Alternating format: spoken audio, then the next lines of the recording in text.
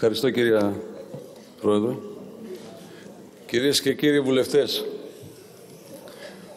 αν αναρωτιόταν κανείς ποιοι είναι οι βαθύτεροι και ουσιαστικοί λόγοι για την κατάθεση της πρότασης της πιστείας από τη Νέα Δημοκρατία και τον κύριο, και τον κύριο Μητσοτάκη, νομίζω ότι αυτό αρχίζεται να, να φαίνεται και να γίνεται σαφές και καθαρό μετά τη διήμερη συζήτηση στη Βουλή.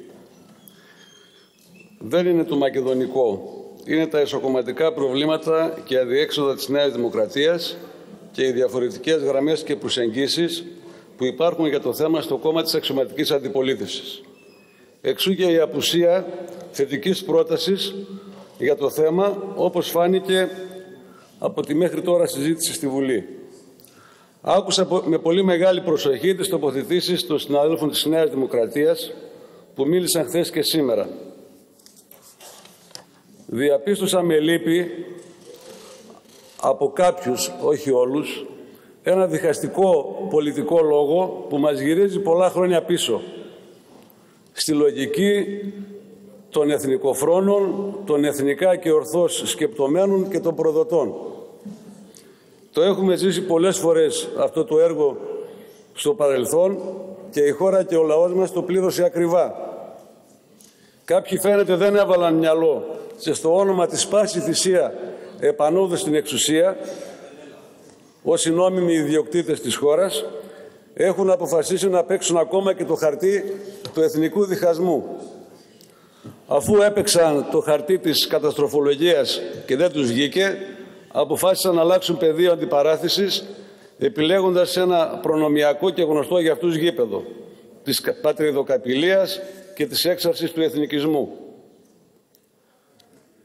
Ούτε όμως αυτό θα σας βγει κυρίες και κύριοι συνάδελφοι, γιατί ο ελληνικός λαός είναι πλέον περισσότερο όριμος και πιο σοφός μετά τις περιπέτειες και την οικονομική καταστροφή που έζησε από το 2010 και μετά. Έρχομαι τώρα στο μακεδονικό. Δεν θα αναφερθώ στις ιστορικές διαστάσεις αυτής της εκκρεμότητας που η σημερινή κυβέρνηση κληρονόμησε. Οι διαχρονικές ευθύνες όλων των προηγούμενων κυβερνήσεων έχουν καταγραφεί και έχουν επισημανθεί. Το πώς δηλαδή αυτό το κράτος στα βόρεια σύνορά μας κατοχύρωσε το συνταγματικό της όνομα ως Δημοκρατία της Μακεδονίας και πώς 150 χώρες σχεδόν μεταξύ των οποίων οι πιο ισχυρές του πλανήτη το έχουν αναγνωρίσει με αυτό το όνομα. Πώς κατοχύρωσε διεθνές, διεθνώς τη γλώσσα ως μακεδονική. Όλα αυτά έχουν καταγραφεί και αποτελούν αντικείμενα των ιστορικών. Ήταν τα κάκιστα, τα αποτελέσματα των κάκιστων χειρισμών σε συνδυασμό με την πολιτική της αδράνειας, της απραξίας και της ατολμίας που ακολουθήθηκε όλα τα προηγούμενα χρόνια και κυρίως μετά την διάλυση της ενιαίας Ιουγκοσλαβίας που έχουν δυστυχώς δημιουργήσει αρνητικά τετελεσμένα για τη χώρα μας. Τετελεσμένα που δεν μπορούν να αντιστραφούν εξ ολοκλήρου. Κυρίες και κύριοι συνάδελφοι, η συμφωνία που επιτεύχθηκε λύνει πολλά από τα θέματα αυτά με θετικό τρόπο για την Ελλάδα.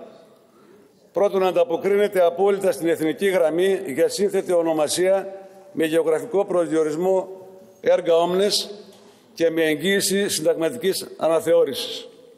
Δεύτερον, απαλήφονται όλες οι αλυτρωτικές διατάξεις από όλες τις δημόσιες πτυχές αυτού του κράτους, σύνταγμα, σχολικά βιβλία, δημόσια κτίρια, σύμβολα, σημαία κλπ. Τρίτον, το νέο συνταγματικό της όνομα θα διαχωρίζει ότι το κράτος αυτό αποτελεί μέρος μόνο και όχι το όλον της μεγάλης γεωγραφικής έκτασης της Μακεδονίας. Τέταρτον, στο άρθρο 7 της Συμφωνίας γίνεται καθαρό ότι η χώρα αυτή δεν αποτελεί επουδενή ιστορική συνέχεια της αρχαίας Μακεδονίας, της οποίας η ιστορία και ο πολιτισμός αποτέλεσαν και αποτελούν αποκλειστικά ελληνική υπόθεση και κληρονομιά. Στα θέματα της γλώσσας διευκρινίζεται ότι η γλώσσα των βόρειων γειτόνων αποτελεί νοτιοσλαβικό ιδίωμα και ότι ανήκει σε αυτή την κατηγορία γλωσσών μη έχοντας καμιά συγγένεια με τη γλώσσα των αρχαίων Μακεδόνων.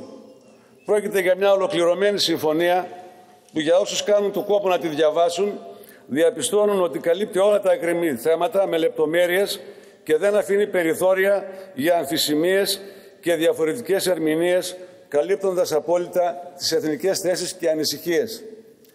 Η Ελλάδα, κυρίες και κύριοι, τον Αύγουστο βγαίνει από την οπταετή μνημονιακή περιπέτεια. Χθες ψηφίσαμε τα τελευταία προαπαιτούμενα που ανοίγουν οριστικά το δρόμο έτσι ώστε να προχωρήσουμε στη ρύθμιση και απομείωση του χρέους. Είναι αυτή η δουλειά που κληρονόμησαν στην Ελλάδα και τους Έλληνες οι κυβερνήσεις της Νέας Δημοκρατίας και του ΠΑΣΟΚ. Όλες οι προσπάθειες, όλες οι δυνάμεις ως κυβέρνηση επικεντρώνονται πλέον σε αυτό και ελπίζουμε με βάση μας ένα θετικό αποτέλεσμα που θα βάλει οριστικά τις ράγες της ανάπτυξης στη χώρα μας και της ευημερίας μιας βιώσιμης και διατηρήσιμης και δίκαιης ανάπτυξης.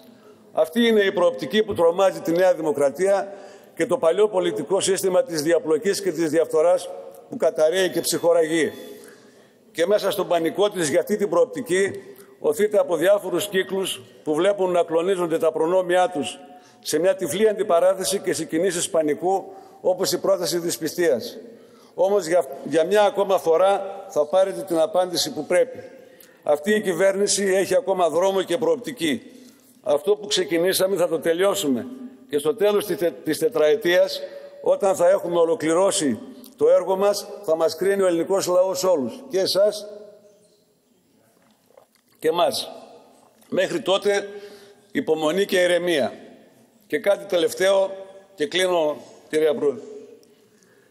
Είμαι Μακεδόνας βουλευτής και Μακεδόνας στην καταγωγή. Από πάπου προς πάπου.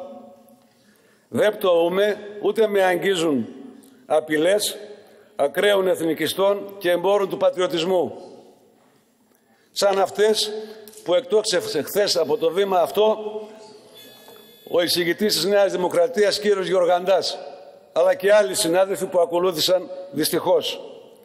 Σέβομαι τις ευαισθησίες και τη συναισθηματική φόρτιση των καλοπροαίρετων συμπολιτών μου γύρω από το θέμα του Μακεδονικού. Πιστεύω όμως ότι η πολιτική γίνεται με τη λογική και όχι με το συνέστημα. Η Ελλάδα, η χώρα μας πρέπει να προχωρήσει μπροστά. Δεν μπορεί το παρελθόν να μας κρατάει δέσμιους σε μια Ελλάδα φοβική, κλεισμένη και επαναπαυμένη στις ιστορικές της δάφνες. Πρέπει να λύσουμε τους γόρδιους δεσμούς που μας καθυλώνουν.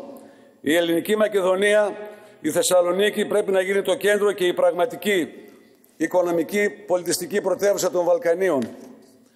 Η Μακεδονία, μια γη και ένας τόπος ευλογημένος από τη φύση, πρέπει τα επόμενα χρόνια να πρωταγωνιστήσει στα Βαλκάνια. Να ηγηθεί της ανάπτυξης με ένα σχέδιο και με ένα νέο δυναμισμό. Να αποτελέσει πυλώνα σταθερότητος και ειρήνης στον πολύπαθο χώρο των Βαλκανίων. Σε αυτή την προοπτική είμαι δεσμευμένος και θα την υπηρετήσω με συνέπεια. Ευχαριστώ.